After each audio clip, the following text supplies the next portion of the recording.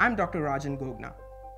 I'm one of the scientists participating in the cancer program at the Champalimaud Foundation.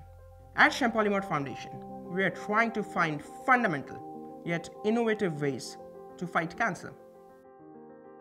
Cell competition can help explain the initiation and growth of cancer in our body. Core behavior of cancer cells is highly competitive and fit group of cells which can outcompete its neighbors.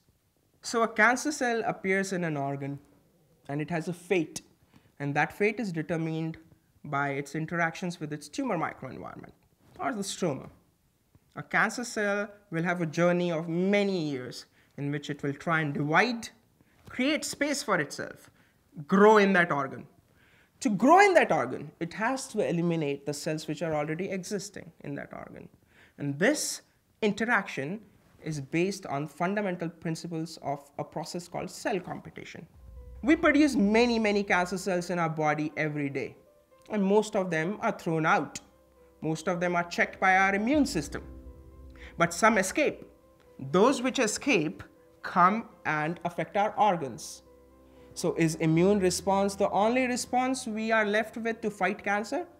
We are discovering no. Cell competition can allow our body in a very localized manner to fight and mount a response against these preliminary cancer cells. This research paper, which has recently been accepted for publication in Nature, talks about a single system with which tumor and its microenvironment can interact with each other.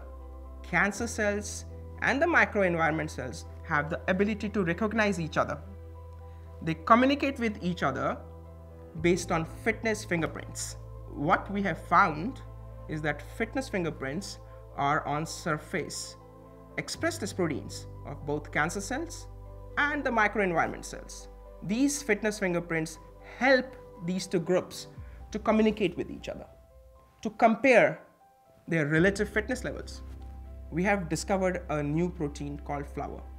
It is located on chromosome number 9, open reading frame number 7.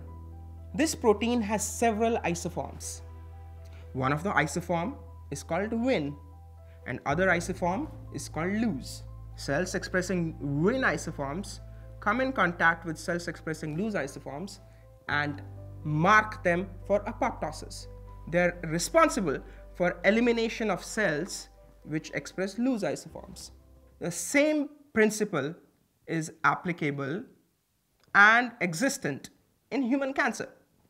Cancer cell overexpresses flower Win isoforms and the surrounding microenvironment in the immediate vicinity of the cancer overexpresses flower lose isoforms.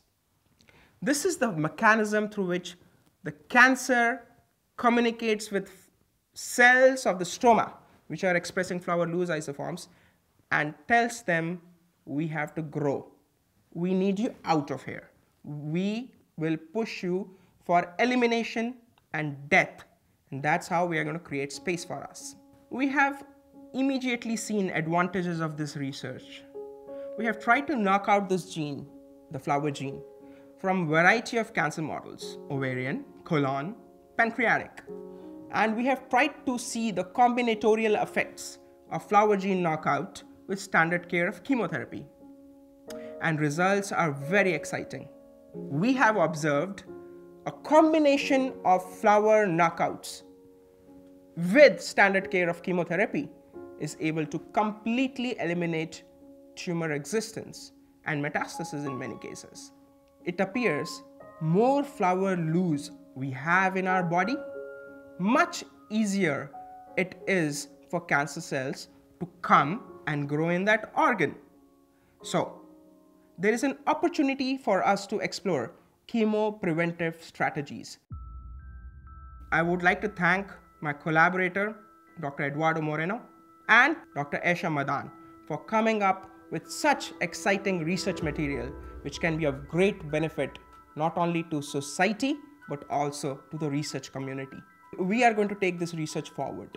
We are going to try and understand its mechanism and we are going to make it into a therapeutic system with which we can help treat patients better.